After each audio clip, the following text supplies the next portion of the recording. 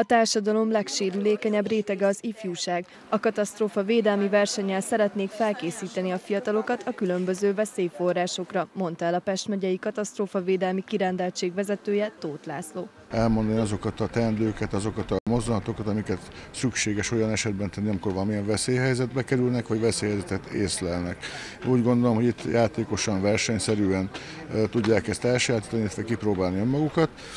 Ez az egyik, a másik az, hogy nem titkol szándék az, hogy előbb-utóbb ezek közül a fiúk, lányok közül akár szervezethez is csatlakozhatnak. Tíz iskola csapatai mérték össze ügyességüket és tudásukat a nap folyamán. Több helyszínen kellett bizonyítaniuk, hogy az életben keletkező vészhelyzetekben is megállnák a helyüket. A háttérben van egy tömlőszállító torony, a tömlőszállító torony be van füstölve diszkófüsttel, hogy a látási körülményeket rontjuk.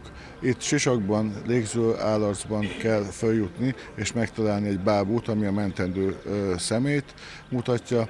A következő állomáson egy elsősegélynyújtási gyakorlat van, egy újraélesztést kell imitálni. 3, 2, 1, rajta! A vetélkedőn volt egy játékos, de egyáltalán nem könnyű feladat is, lufikat kellett eltalálni vízsugárral. A versenyen nem csak gyakorlati, hanem a megfelelő elméleti tudásukat is bizonyítaniuk kellett a diákoknak.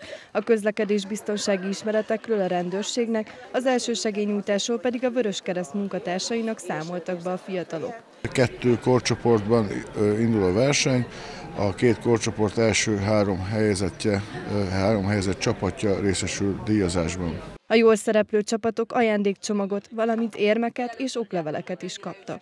Az első-második helyzet tovább jut a területi versenyre, és ha ott is jól szerepelnek, egészen az országos döntőig jutnak, ahol értékes díjazásban részesülhetnek.